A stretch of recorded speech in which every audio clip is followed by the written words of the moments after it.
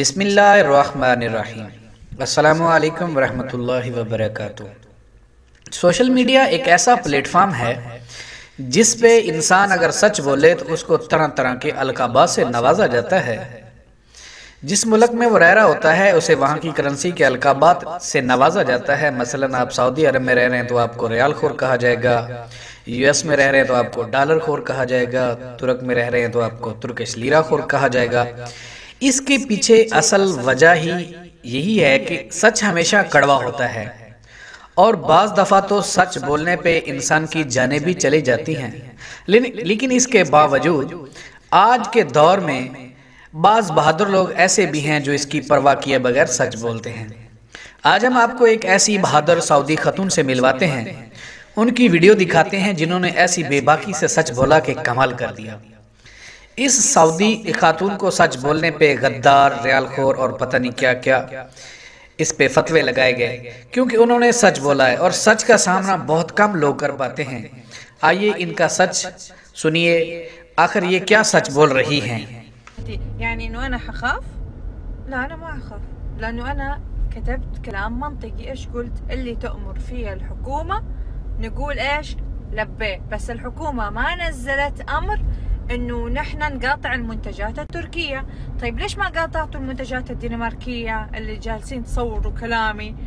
ليش ما قاطعتوها لما لما تكلموا على الرسول عليه أفضل الصلاة والسلام؟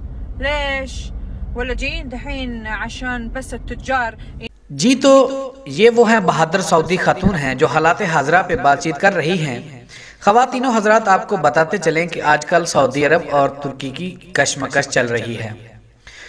ترکی صدر کی سعودی عرب کے مخالف بیانات کی وجہ سے سعودی عوام نے ترکی مصنوعات کا بائیکاٹ کر رکھا ہے۔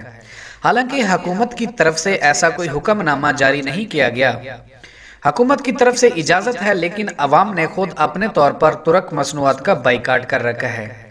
تو اس عمر میں سعودی خاتون نے کہا کہ آپ لوگوں نے ترک مصنوعات کا بائی کاٹ کر رکھا ہے۔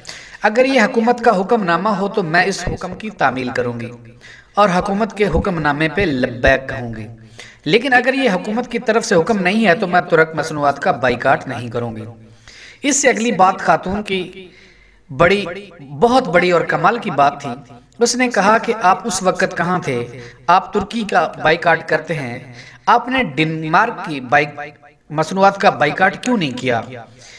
کہ کیا یہ وہی ڈنمارک نہیں ہے جس نے نبی کریم صلی اللہ علیہ وآلہ وسلم آقا امام الانبیاء کے خاکے جاری کیے اور آپ صلی اللہ علیہ وآلہ وسلم کی توہین کی؟ آپ کو کیا ہو گیا ہے؟ تب آپ کہاں تھے؟ تب آپ کو بائیکاٹ کرنا ضروری نہیں لگا۔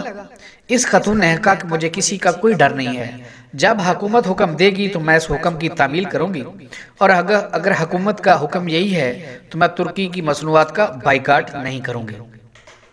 آپ خود اندازہ لگائیں کہ اس پلیٹ فارم پہ اتنی بڑی بات کرنا دل گردے کا کام ہے، لیکن ہمت ہے اس خاتون کی۔ لیکن اس پہ غدار کا لیبل لگا دیا گیا ہے اور لہنتان کی جا رہی ہے۔ سوشل میڈیا پہ پتہ نہیں کیا کیا کن کن القابات سے اس کو نوازا جا رہا ہے۔ کوئی اس کے حسم نصب پہ بات کر رہا ہے، کوئی غدار کہتا ہے اور کوئی اس کو دوسرے ملک سے کہہ رہا ہے کہ فیدہ پہنچ رہا ہے۔ تو بھائیوں کہنے کا مقصد یہ تھا کہ انسان اگر سچ نہیں بول سکتا تو کم از کم سچ سننے کی ہمت تو اس میں ہونی چاہیے۔ نہ کہ اگر کوئی سچ بولے تو اس پہ لان تان کرنا شروع کر دیں، اس کو مختلف القابات سے گھٹیا قسم کے الفاظ الفاظ سے نوازنا شروع کر دیں، اس پہ لان تان کرنا شروع کر دیں۔ ایسا ہرگز نہیں کرنا چاہیے۔ دوستو، اس ویڈیو کے بارے میں اپنی قیمتی رائے کا اظہار کومنٹس باکس میں ضرور کیجیے گا۔ آپ کے قیمتی وقت کا بہت شکریہ۔ السلام علیکم ورحمۃ اللہ وبرکاتہ۔